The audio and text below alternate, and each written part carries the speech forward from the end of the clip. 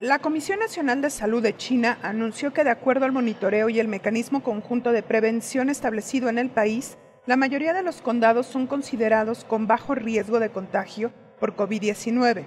China sigue con tendencia positiva de la situación epidémica mediante esfuerzos arduos, dijo el vocero Mi Feng en conferencia de prensa, donde también detalló que el 72.9% de pacientes de Wuhan, capital de la provincia de Hubei, ha recibido el alta médica.